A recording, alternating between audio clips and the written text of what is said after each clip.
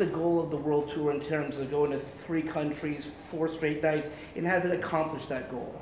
Um, yeah, so, so, you know, we wanted to do this world tour, obviously, you know, uh, we talked about going to Texas too, and, um, you know, obviously Dublin made a lot of sense, but there's no way Floyd was gonna go to Dublin. Did he directly say no when Oh, Dublin? Absolutely. I mean, this is as close to Dublin. We're in London, and this is, this is hostile territory for him right now. Imagine if we were in Dublin. I mean, that guy's gotta go stay at a hotel somewhere and, you know, get in a car and drive somewhere. I, I, if I, I wouldn't go to Dublin either if I was him. I don't blame him. Did you ask him, Did you ask him personally if you would go to Dublin? No, I, Al Haymon, yeah. I talked to Al Haymon about it. He's like, yeah, we're not going to Dublin. Dana, um, Conor was making three, about three million in his uh, last fights. Now he's going to be making. not true. All right. He's going to be making a lot more for this one.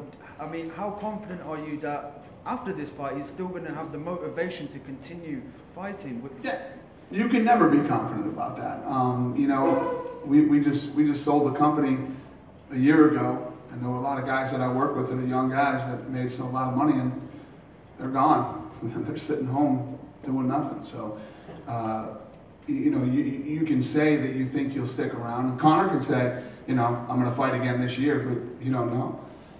you don't know till you get that check and cash it whether you're going to stick around or not. That's when you find out if you really love what you're doing, especially in the fight business. You know, it takes a certain type of person to want to get out of bed and get punched in the face every day when you got that much money in the bank.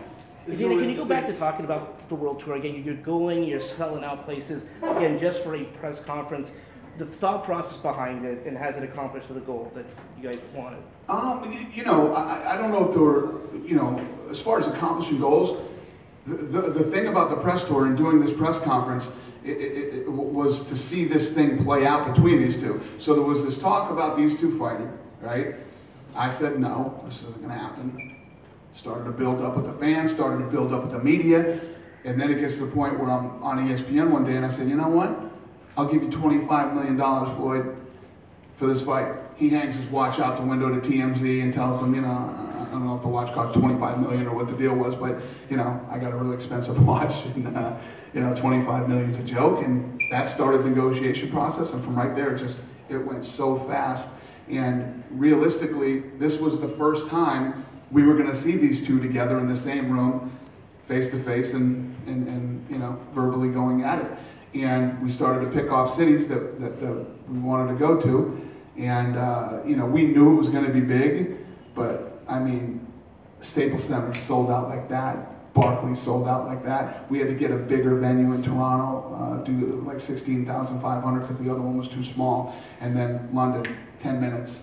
So, you know, it's, it's, uh, it's been incredibly successful. And, and I think that, um, you know, a fight that people were already excited about, people are just insane about now. Dana, just going back to